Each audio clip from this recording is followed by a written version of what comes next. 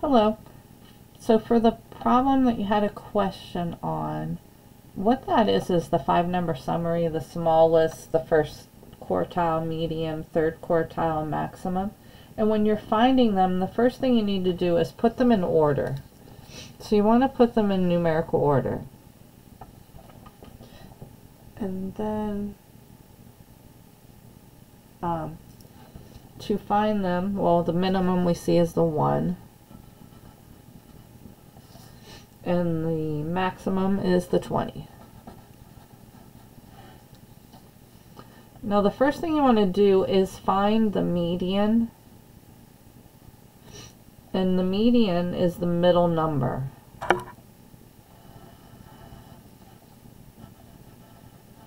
I think you were including the median when you were finding your lower and upper quartile, but you want to make sure you don't.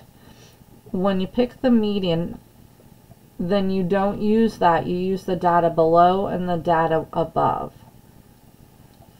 So if we use it, the median would be 15, and then to find the first quartile, it's the middle of the bottom group of data. So the first quartile would be halfway between here.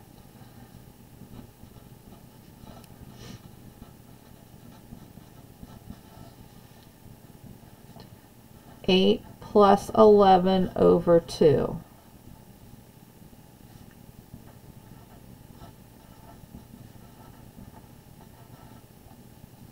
So it would be 9.5.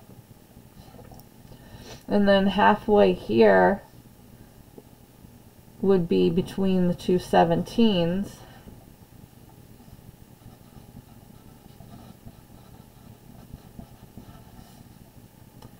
So it would be 17 plus 17 over 2, which is just 17. And then the last one, I, Q, R. You just subtract these two.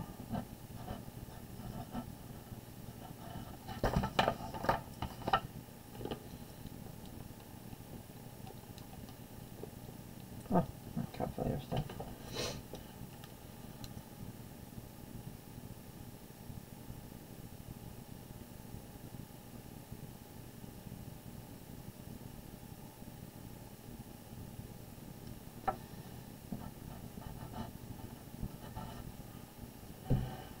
And there you go. So that would be the five number summary. It's the smallest value, the first quartile,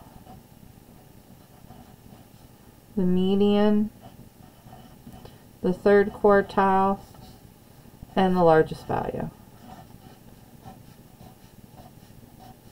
And then the interquartile range is just this distance, which was 7.5.